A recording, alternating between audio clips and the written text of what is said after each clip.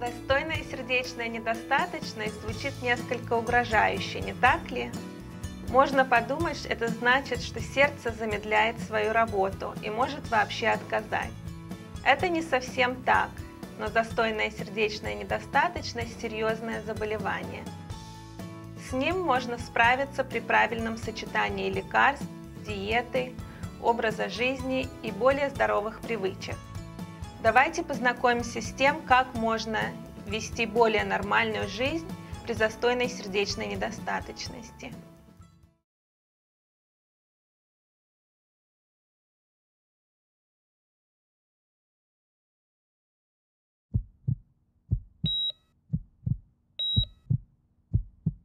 Попросту говоря, сердечная недостаточность, которая также называется застойной сердечной недостаточностью, это то заболевание, при котором способность вашего сердца качать кровь слабее нормальной. Поэтому сердце не может накачивать достаточно крови с адекватным количеством кислорода и питательных веществ, необходимых вашему организму. И хотя застойная сердечная недостаточность – это хроническое заболевание, отраден тот факт, что по большей части ее лечение с помощью врача приносит хорошие результаты. Да как же понять, есть ли у вас сердечная недостаточность? Существует несколько общих симптомов, и у вас могут быть все они или только некоторые в разных комбинациях. Это затрудненное дыхание при движении и в состоянии покоя, особенно когда вы лежите на спине. Сухой надсадный кашель иногда ночью, увеличение веса из-за избыточной жидкости в вашем организме – является самым первым признаком. Отечность ступней, щиколоток, пальцев, мошонки и вздутие живота. Вздутие живота снижает чувство голода. Чувство усталости и слабости вы не чувствуете себя отдохнувшими, даже после хорошего ночного сна. Нарушенный сон и беспокойство без видимых причин.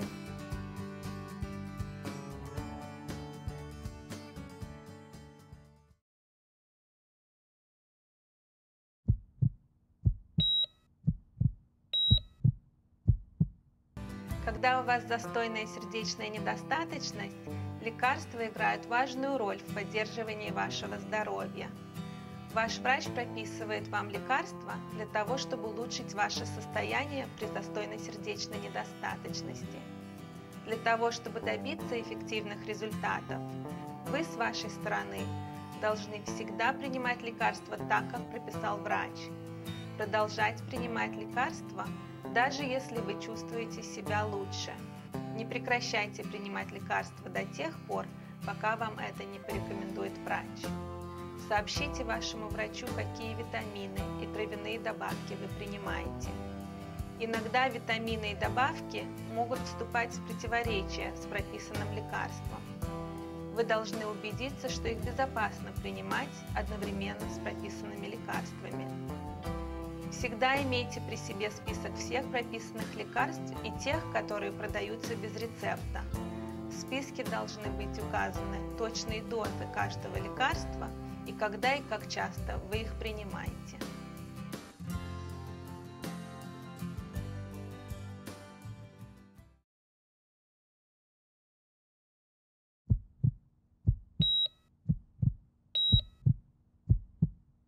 Для того, чтобы справляться с застойной сердечной недостаточностью, необходимо сократить использование соли. Слишком много соли, которая содержит натрий, удерживает воду в организме. Излишнее скопление воды может быть опасным. Ограничивание использования соли вы можете предотвратить и контролировать скопление жидкости вокруг сердца и в ногах. Слишком большое количество соли способствует высокому кровяному давлению, что может привести к сердечному заболеванию. Какое количество соли можно считать как слишком большое? Рекомендованное ежедневное количество натрия для пациентов с достойной сердечной недостаточностью – это обычно 2 грамма или 2000 миллиграмм. Это равняется одной чайной ложке соли в день. Многие употребляют от 2 до 6 ложек в день. Причем соль идет не только из солонки. Многие полуфабрикаты и упакованная приготовленная еда содержит высокий уровень натрия, даже когда отсутствует соленый вкус. Если вы привыкли использовать много соли в вашем рационе, вам будет нелегко сокращать ее употребление. Но есть способы уменьшить количество соли и при этом получать удовольствие от еды. Во-первых, делайте это постепенно. Используйте половину того количества соли, что обозначено в кулинарном рецепте, и постепенно сведите добавление соли к нулю. Читайте ингредиенты на наклейках, обращайте внимание на слова соль, сода, натрий, как, например, питьевая сода или соль с чесночной пудрой. Если эти слова являются одним из первых четырех ингредиентов, это значит, что данный продукт содержит много натрия. Используйте травы и специи для улучшения вкуса. Попробуйте приправу миссис Дэш. Избегайте обработанных сыров, сырных паст и сырных закусок, так как они содержат больше соли, чем натурально приготовленные сыры. Избегайте копченых и засоленных продуктов, а также продуктов рассоле, как, например, солонины, соленых и маринованных овощей, маслин и оливок и квашеной капусты. Не покупайте скоро варящиеся смеси, заменяющие рис, макаронные изделия и каши. В них обычно много натрия. Используйте фруктовый сок или вино для готовки вместо бульонов. Споласкивайте консервированного тунца в баночке приблизительно одну минуту, чтобы уменьшить содержание соли. Не держите солонку на столе. Освободиться от привычки использовать соль может быть трудно, но не отчаивайтесь. Может понадобиться три месяца, чтобы освободиться от желания есть соленую еду, но этого стоит ваше здоровье.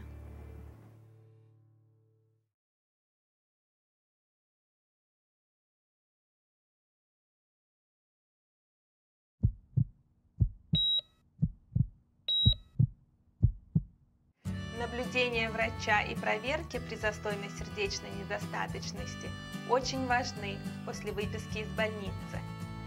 Это поможет вам быть в хорошей форме при вашем заболевании и вести как можно более активный образ жизни.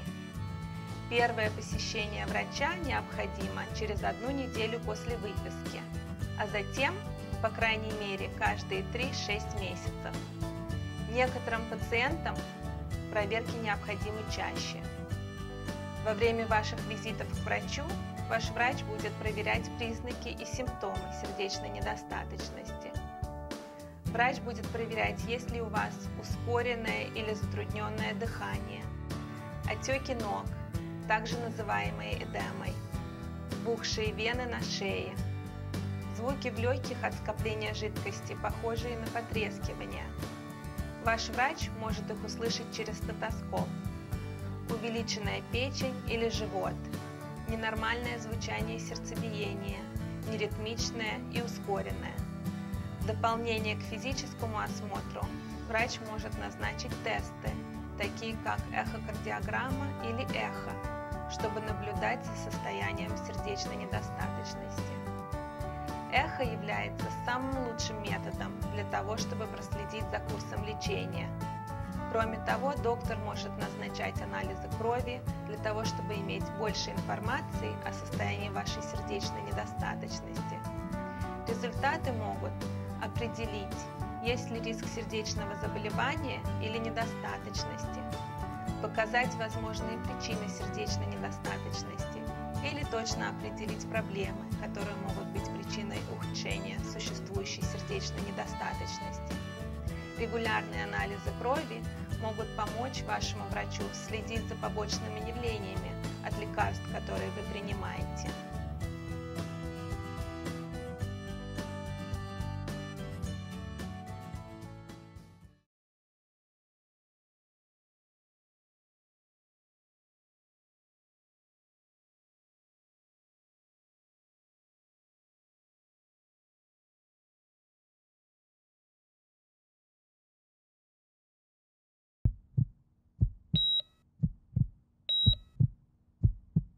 Когда вы страдаете от застойной сердечной недостаточности, ваш организм производит и удерживает слишком много жидкости, что может быть опасно. Важно освобождаться от лишней жидкости, которая накапливается в организме, а также предотвращать ее накопление. Лекарство, известное как водяные таблетки, может помочь освобождаться от лишней жидкости. Так как количество лишней жидкости может быть достаточно большим, в результате образуется лишний вес. Поэтому важно проверять вес ежедневно. Это простой и эффективный способ помогает следить за увеличением жидкости в организме. В больнице вас взвешивают ежедневно и ограничивают употребление жидкости. Дома вам также надо взвешиваться ежедневно. Рекомендуется записывать вес в дневник. При выписке из больницы пациентам выдается такой дневник. Ниже несколько советов для того, чтобы точно следить за своим весом в домашних условиях. Лучше взвешиваться утром в одно и то же время. Взвешивайтесь после утреннего стула. Взвешивайтесь в одной и той же одежде. Записывайте вес каждый день. Если ваш вес увеличился за ночь на 3 фунта или на 3-5 фунтов за неделю, звоните вашему врачу. В дополнение к ежедневному взвешиванию, ваш доктор вам порекомендует ограничить употребление жидкости – вы должны проверять вес всего, что вы пьете. Запомните, что любая жидкость, которую вы употребляете, должна быть измерена. Например, желе, мороженое, а, лед, супы и все напитки. Однако есть способ утолять жажду без использования слишком большого количества жидкости в вашем рационе. Можно сосать замороженные дольки лимона, также хорошо замораживать виноград. Его можно использовать вместо кубиков льда. Охлажденные напитки лучше утоляют жажду. Карамель или жевательная резинка без сахара увлажняют полость рта. А самое главное, пейте только тогда, когда хотите пить.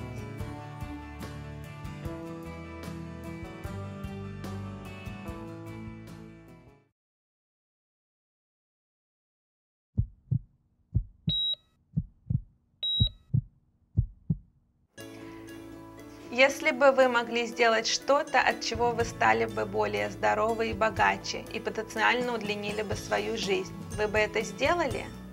Если ответ «да», то сегодня же принимайте решение бросить курить. Курение и зависимость от никотина являются важной причиной заболеваний и преждевременной смерти, которые можно предотвратить. Бросить курить – одно из самых важных решений, которое вам необходимо принять. Это может существенно изменить качество вашей жизни, а также жизни тех, кто вас окружает. Надо только бросить курить. Вы значительно продлите свою жизнь, существенно снизив риск инфаркта, инсульта или рака. Если вы беременны, бросить курить значит обеспечить вашему ребенку шанс хорошего здоровья. Люди, с которыми вы живете, особенно дети и домашние животные, будут здоровее – Вторичный дым влияет на тех, кто вас окружает. И сколько денег вы сэкономите, не покупая сигареты и табачные изделия. Если вышеупомянутое не кажется вам достаточным основанием для того, чтобы бросить курить, как насчет следующего? Каждый год от болезней, связанных с курением, умирают 417 тысяч человек. Вы можете стать одним из них – табачном дыме обнаружены 4000 химикатов и отравляющих веществ. Куря, вы сами себя отравляете. Многие люди, которые курят, хотят бросить курить, но им это трудно сделать из-за никотиновой зависимости. Да, бросить курить трудно, но сейчас как никогда появилось много способов, таких как никотиновые наклейки, жвачки, ингаляторы, пульверизаторы – для носа и леденцы, которые помогают уменьшить тягу к никотину и бросить курить. Лекарства, такие как бупропион и чантекс, также эффективны. По сути дела, использование способов замены никотина и другие методы могут утроить шанс успеха. Мы также готовы вам помочь. Позвоните специалисту по курению поликлиники Холли Редимер по телефону 215 938 2837, чтобы узнать побольше о наших методах и путях, помогающих бросить курить.